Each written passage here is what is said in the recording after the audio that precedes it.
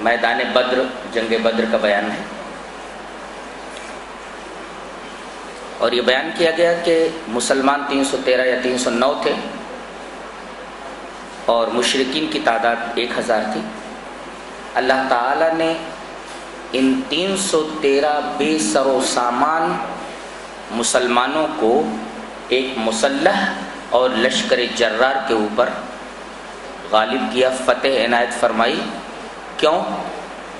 उसकी वजह बयान की जा रही लियहलिक मन हलक अम बैनति वयहया मन हय्या अम ताकि अब जो हलाक हो वो दलील के साथ और ज़िंदा रहे तो दलील के साथ।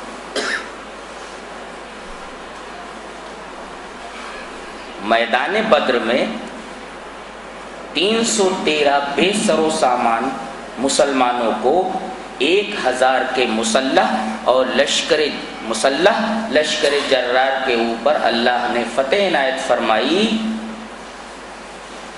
क्यों? ताकि जो ज़िंदा रहे, वो दलील के साथ ज़िंदा रहे और जो हलाक हो, वो दलील के साथ हलाक हो। वजाहत इसकी यह है कि 313 मुसलमान, वो भी बेसरो सामान एक हज़ार के मुसल्ह लश्कर के ऊपर कैसे गालिब हुए? इसका मतलब यह है कि मुसलमान हक के ऊपर हैं और ये मुसल्ह लश्कर जर्रार नाहक पर था। ये एक खुली हुई दलील थी कि कौन हक पर है और कौन नाहक पर है। ये खुली दलील थी। हक और ना हक की। इसी वजह से कहा गया, अब जो ज़िंदा रहे, वो दलील पर ज़िंदा रहे और जो हलाक हो, वो दलील के ऊपर हलाक हो।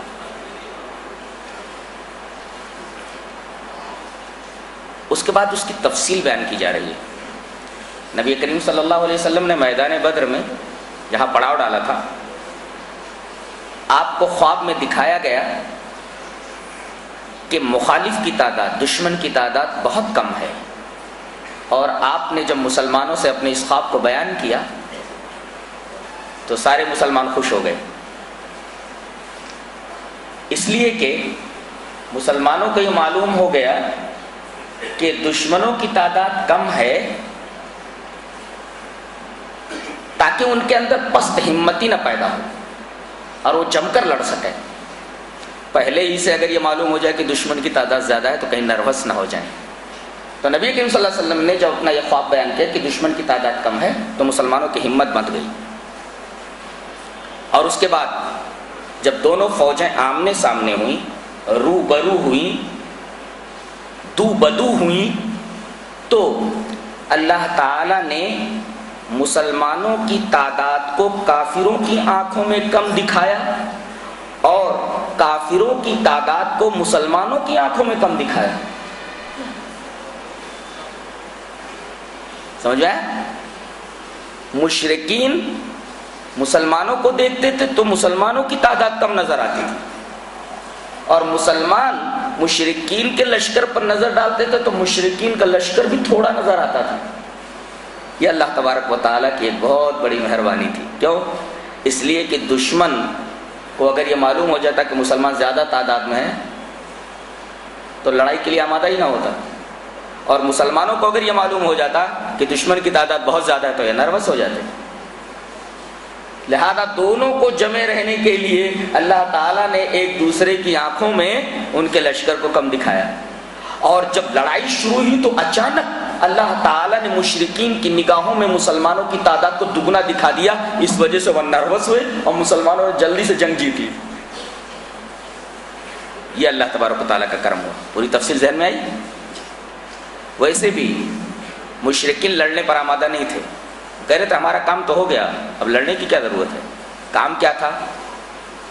अबू सुफियान को मक्का वालों ने बहुत सारा सामान तिजारत दे करके शाम भेजा था कि इस सामान तिजारत से जो मुनाफा होगा, उस नफ़ा से हथियार खरीदे जाएँगे और ये हथियार मुसलमानों के ख़िलाफ़ इस्तेमाल किए जाएँगे। नबी करीम सल्लल्लाहु अलैहि वसल्लम को मालूम हो गया कि अबू सुफियान सामान तिजारत के नफ़ा से हथियार खरीद कर मक्का ले जा रहे हैं। लिहाजा इनको बीच ही में रोक लिया जाए और हथियार छीन लिए जाएँ। लोग कहते हैं कि मुसलमानों का यह पहला डाका था जो नबी करीम सल्लल्लाहु अलैहि वसल्लम के हुक्म से हुआ। यह डाका नहीं था। दर हकीकत नबी करीम सल्लल्लाहु अलैहि वसल्लम का यह हमला अमन अमान के क्याम के लिए था कि अगर यह हथियार मक्का पहुँच गया और वो मुसलमानों के खिलाफ नबरदाजमा हुए उन हथियारों के साथ तो बड़ा खून खराबा हुआ। होगा, लिहाजा नबी करीम सल्लल्लाहु अलैहि वसल्लम ने उनके इस हथियार को दरमियान ही में छीनना चाहा और छीनने की कोशिश की। लेकिन अबू सुफियान का लश्कर समंदर के किनारे से होता हुआ मक्का की तरफ़ निकल गया। तो काफिरों ने कहा लड़ने की क्या ज़रूरत है? लड़ने की क्या ज़रूरत है? हमारा मकसद तो हल हो गया। हमारा काफिला साजो सामान के साथ, हथियारों के साथ मक्का पहुँच गया। लेकिन अल्लाह तबारक व ताला ने अपने नबी को हुक्म दिया कि लड़ाई ज़रूर होगी और वहाँ शैतान को भेज दिया। शैतान आया। इब्न अब्बास रज़ी अल्लाह तुमा की रिवायत है कि शैतान सौराका इब्न मालिक की शक्ल में आया, एक बूढ़ा बन करके। अल्लाह तबारक व ताला ने उसकी बात को वहाँ नकल फरमाया वही जयन आमालहुम वक़ाल ला गालिब लकुम यौम मिनन नास व इन्नी जारुल लकुम, फलम्मा तराअतिल फियतान नकस अला अक़िबैहि वक़ाल इन्नी बरीउम मिनकुम, इन्नी अख़ाफुल्लाह, वल्लाहु शदीदुल इक़ाब। ये शैतान सुराका इब्न मालिक की शक्ल में एक बूढ़े की शक्ल में आया, बूढ़े के रूप में आया, बहरूप बदल कर आया और उसने कहा कि आज तुम ही लोग गालिब हो जाओगे, तुम्हारी तादाद, तुम्हारे असलहे, आज मुसलमान तुमसे जीत नहीं सकते, तुम ही गालिब रहोगे। ला गालिब ला गालिब लकुम मिनन्नास, व इन्नी लकुम, और मैं तुम्हारे साथ हूँ। मैं तुम्हारे पड़ोसी में हूँ, बाजू ही में हूँ। उसने उकसाया और ये लोग लड़ने पर आमादा हो गए। तो शैतान के उकसाने पर वही जयन शैतान आमाल शैतान ने उनके अमलों को खूबसूरत बना दिया और वो लड़ने पर आमादा हो गए। और मुसलमानों को लड़ने के लिए अल्लाह तबारक ने आमादा किया। क्यों? कि हथियार अगरचे पहुँच गए मक्का। लेकिन हथियार उठाने वाले बाजुओं को काट दिया जाए। हथियार से क्या होता है? हथियार उठाने वाले बाजू ही काट दिए जाए इसलिए कि मक्का के सारे बहादुर तो यहीं जमा हो गए थे। नबी करीम सल्लल्लाहु अलैहि वसल्लम ने जब उनकी तरफ़ देखा तो फरमाया लकत अखरजत मक्का तो अफलाजा कभी देहा आज मक्का ने अपने कलेजे के टुकड़ों को बाहर निकाल दिया। ऐसे चीदा चीदा लोग आए हुए थे बड़े बड़े बहादुर आए जो अपनी मिसाल आप थे। नबी करीम सल्लल्लाहु अलैहि वसल्लम ने उनको देख करके सब पहचानते थे ना? आप आप, आपके गाँव ही के थे वो आपके शहर ही के थे। आपने फरमाया लकद अखरजत मक्का तू अफला कभी दिया आज मक्का ने अपने कलेजे के टुकड़ों को बाहर निकाल दिया है। सारे बहादुर ही जमा थे अल्लाह तबारक ताला ने मुसलमानों के ऊपर यह ज़रूरी करार दिया कि वो जंग करे। बेसरो सामानी का जहाँ तक मामला है हम फरिश्तों के ज़रिए मदद करने वाले हैं लेकिन लड़ाई ज़रूर होगी। अगरचे हथियार उनके मकाम पर पहुँच गया। लेकिन हथियार उस वक्त काम आएँगे जब उठाने वाले बाजू मौजूद रहे। उठाने वाले बाजुओं को यही काट दो, ताकि कोई बाजू हथियार उठाने के लायक ही ना रहे। हथियार पहुँचने से क्या होगा? और जब लड़ाई शुरू हुई, फलम्मा तरातिल जब दोनों फौजें आमने सामने हुई तो अपने एड़ियों के बल फिरा। कौन? ये शैतान। और कहा, इन्नी बरी मिनकुम इसका काम ही यही है। चढ़ जा बेटा सूली पर और उसके बाद भाग लेता वहाँ से और हर बार यही बोलता है, इन्नी खाफुल्ला मैं अल्लाह से डरता हूँ, बोलता है। कौन? शैतान। जब दोनों फौजें आमने सामने हुई तो नकसाला भाई तो अपने एड़ियों के बल पलटा। भागने लगा। कहा, चचा, कहाँ जा रहे हो? कहा मैं जो देख रहा हूँ, तुम नहीं देख रहे हो। इन्नी अरा माला तरम फरिश्तों को देख रहा था ना? इसलिए तो फरिश्तों के दरमियान ही था वो। फरिश्तों के दरमियान ही था ना? आसमान में कहा, इन्नी अरा माला तरउन मैं जो देख रहा हूँ, तुम नहीं देख रहे हो, मुझे भागने दो। रहा तुम्हारा मामला, मैं तुम लोगों से बरी हूँ। ऐसे ही गुनाह करवा देता, कहता नहीं खाफुल्लाह मैं अल्लाह से डरता हूँ। कितना बदमाश है। नतीजा क्या हुआ? नतीजा यह हुआ कि सारे के सारे बाजू काट दिए गए।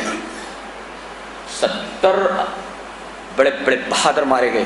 बकिया कैदी बना करके मक्का लाए गए। अल्लाह, कैदियों के साथ भी कैसा सलूक? आज एक फातेह कौम, मफतूह कौम के साथ क्या करती है, दुनिया जानती है। हर जुल्म उसके ऊपर रवा रखा जाता है। लेकिन ये सत्तर कैदी जो कैदी बना करके वहाँ लाए गए, उनमें आपके चचा अब्बास भी थे। किसी ने जरा ज़ोर से रस्सी बाँध दी थी। नबी करीम सल्लल्लाहु अलैहि वसल्लम बार बार हुजरे से बाहर निकलते बार बार अंदर जाते। और जो निगरानी के लिए साहब कराम मुकर्र थे, उन्होंने नबी की बेचैनी देखी तो आगे बढ़ करके पूछा, या रसूल अल्लाह आप कुछ बेचैन दिखाई देते? कहा कि मुझे अब्बास की कराह सोने नहीं दे रही है। ज़रा उनकी मुश्किल ढीली कर दो, बंधन ढीले कर दो। ये है कैदियों के साथ रहम का मामला। कैदियों के साथ रहम का मामला। अगर कैदियों के साथ इस तरीके के मामला किए जाते हैं इस्लाम में। यहाँ तो हर जुल्म बराबर रखा जाता है। फातेह कौम मफतू कौम के साथ क्या क्या जुल्म करती है? हर जुल्म बराबर रखती है। यहाँ नबी करीम सल्लल्लाहु अलैहि वसल्लम अब्बास की कराहें सुनकर नींद आपको नहीं आ रही है? और आप कह रहे हैं कि उनका बंधन ढीली, उनकी जो ये बंधन है वो ढीली कर दो, मुझे नींद नहीं आ रही, उनकी कराहों की इस लड़ाई में एक सहाबी हैं, हज़रत उमैर इब्न हम्माम। नबी करीम सल्लल्लाहु अलैहि वसल्लम ने 313 मुसलमानों को लड़ने के लिए, आमादा फरमाने के लिए फरमाया, बढ़ो उस जन्नत को हासिल करने के लिए, जिसकी चौड़ाई ज़मीन और आसमान के बराबर है। उमर इब्न हम्माम उधर से गुजर रहे थे, कहा, या रसूल अल्लाह जन्नत इतनी बड़ी है? कहा कि हाँ इतनी बड़ी है। कहा कि, बख बख, क्या बात है, क्या बात है? अल्लाह के रसूल, अगर आप मुझे जन्नत की बशारत दें तो मैं लड़ता हूँ। कहा कि, ठीक है, मैं तुम्हें जन्नत की बशारत देता हूँ। कहते हैं कि उन्होंने फ़ौरन न्याम तोड़ डाली, न्याम तोड़ करके फेंक दी, तलवार निकाली, खजूरें खाते हुए आगे बढ़े कहने लगे, खजूर जब तक खाऊँगा, तब तक तो जन्नत पहुँच, जन्नत में पहुँचने में देरी हो जाएगी। खजूरें फेंक दी और उसके बाद बीच सफ में घुस गए और शहादत से हम कनार हुए। ये हज़रत उमर इब्न हमाम है, जिनके बारे में हज़रत अबू बकर सिद्दीक रज़ी अल्लाह तहो पहलियाँ बुझाया करते थे कि वो कौन से सहाबी हैं जिन्होंने न कोई नमाज़ पढ़ी, न ज़क़़त दी न रोज़ा रखा, न हज किया, कोई अमल नहीं किया और जन्नत में पहुँच गए। ये वही है, हज़रत उमर रज़ी अल्लाह तला